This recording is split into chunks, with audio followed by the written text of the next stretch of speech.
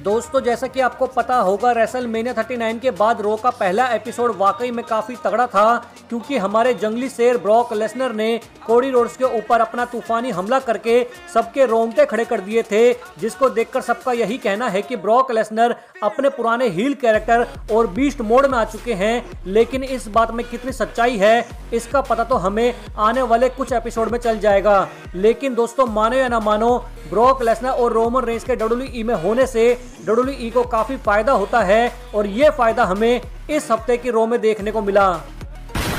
क्योंकि इस हफ़्ते की रो के पहले घंटे की व्यूवरशिप 2.47 मिलियन तक चली गई थी और तीसरे घंटे को 2.05 मिलियन लोगों ने देखा था। तो दोस्तों, यही रीजन है कि डब्ल्यू ब्रोक लेसनर और रोमन रेंस को काफ़ी ज़्यादा पैसे और तगड़ा पुश देती है, क्योंकि इनके शो में होने से डब्ल्यू को काफ़ी ज़्यादा फ़ायदा होता है। दोस्तों, ये बात आपको भी पता होगी, रो की व्यूवरशिप ज़्यादातर 1.6 मिलियन और 1.8 मिलियन के बीच में ही रहती है। लेकिन जब ब्रॉक लेसनर और रोमन रेंस रो पर होते हैं तो व्यूवरशिप 2 मिलियन प्लस चली जाती है।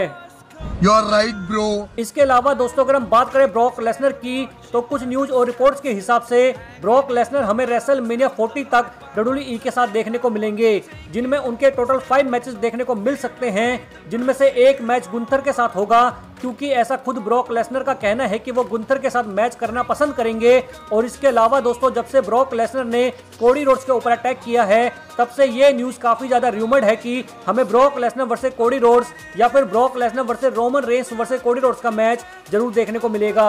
या तो ये मैच बैकलैस में हो सकता है या फिर समर स्लैम में।